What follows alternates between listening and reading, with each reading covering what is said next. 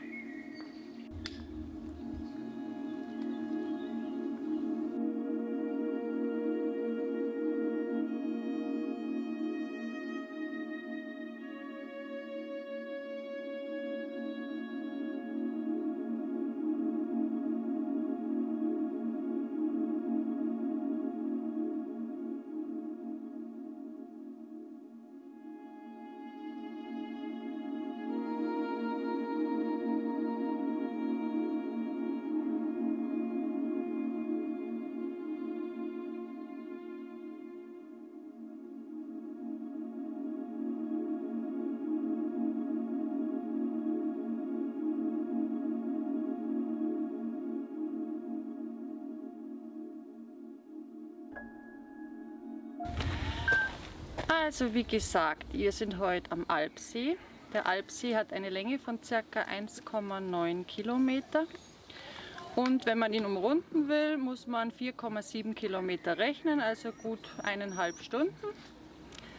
Ähm, ich bin jetzt hier an dem ersten Punkt, wo man einen wunderbaren Blick über den See hat. Das Schloss sieht man noch nicht. Ich hoffe, da kommt noch ein Punkt, wo man das Schloss Neuschwanstein sieht. Der Alpsee, wie ich vorhin schon erwähnt habe, ist ja in der Nähe der Königsschlösser, Hohenschwangau und Neuschwanstein. Und ähm, ja, er gehört zu den Seen mit dem saubersten Wasser in Deutschland. Natürlich ist dann hier im Sommer Badebetrieb und wenn man Fotos machen will, ist es ratsam am Abend zu kommen. Da ist immer noch genug los, aber lang nicht so viel los wie unterm Tag. Jetzt fotografieren wir noch ein bisschen. Hat mich gefreut, dass ihr dabei wart. Und wir sehen uns bis zum nächsten Mal.